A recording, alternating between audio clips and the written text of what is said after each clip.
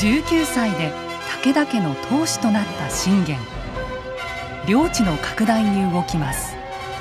まずは信濃を我が物とする。向かったのは信濃。小さな領主が乱立する地でした。武田軍は支配地を広げていきます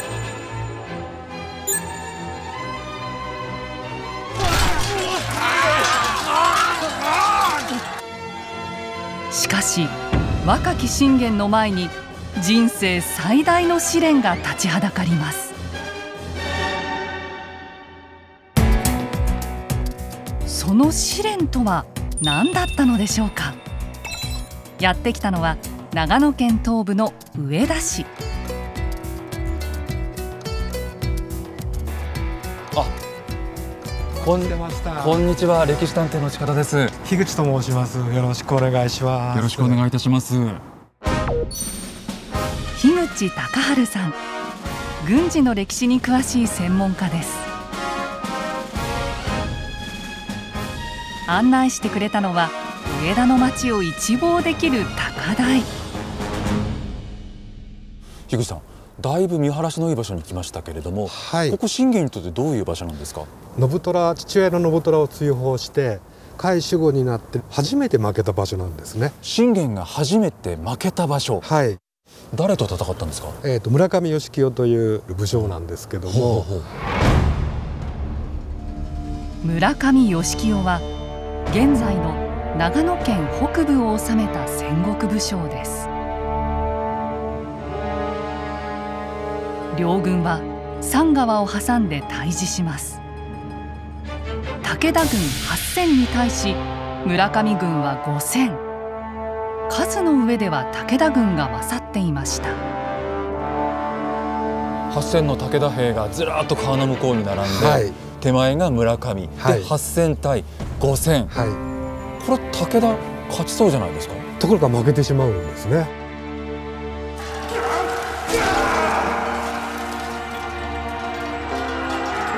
兵力で上回っていたにもかかわらずなぜ信玄は敗れてしまったのでしょうか。戦いの翌年信玄が記した書状にヒントが残されていました。あれこれあって全てが思うままにならず迷惑しています。なんというちょっと信玄らしからぬ弱気な。実は家臣たちの力が強いんですよ、うん、でかなり勝手なことばっかりしちゃうんですね。家臣たちが勝手な動きを。人生初の敗北。その原因は家臣が命令に従わなかったことにありました。資料によれば武田家の重臣だった板垣信方は信玄の許しもなく勝手に敵陣深く攻め込みます。そして戦いが続いているにもかかわらずその場で首実験を始めたのです。あの勝った気になっちゃって勝った気になっちゃってたんですね、でそれを村上勢にの第二陣に攻められて崩されてしまう油断した板垣は村上軍の反撃に遭い討ち死に。これをきっかけに武田軍は総崩れとなりました。家臣たちが信玄の命令に従わなかったのには理由がありました。当時家臣の多くは信玄の父の代から仕えてきた自負心の強い者たち。家臣団は信玄をやはり自分たちが担ぎ上げたみこしだっていう意識が非常に強かったんだと思いますまだ26歳っていう若い信玄ですからそれを統制できないわけですよ信玄に欠けていたものとは家臣たちをまとめる統率力でした。では統率力の違いは戦いにどれくらい影響するのでしょうか？失礼します。こんにちは。近田でございます。よろしくお願いします。今日もお世話になります人工知能を用いてさまざまなシミュレーションを行っている古市正和さんの研究室です。今回は総大将の統率力の差が戦いに与える影響を調査します。赤と青の軍兵の数は5000対5000武器や能力も同じに設定します。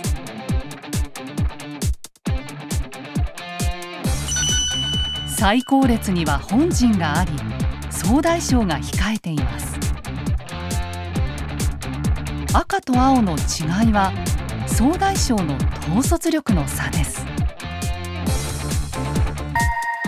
赤は統率力のある総大将が兵士一人一人にトップダウンで命令を出します。対して青の総大将は統率力がなく兵は好き勝手に動きます。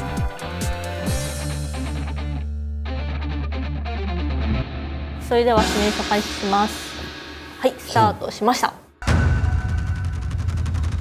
戦闘始まりました。出てくれましたね今ね。あそうです。ね矢印が出ました。これ戦闘が始まったという感じですか？はいあ黄色い印がつきました。これは？そうですね。当たったっていう印ですね。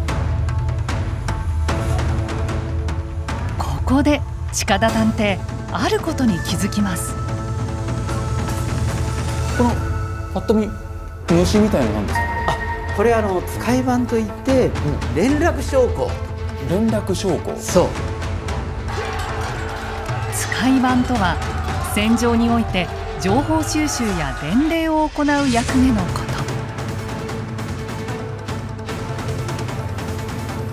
と。この使い版の動きが赤と青では大きく違いました。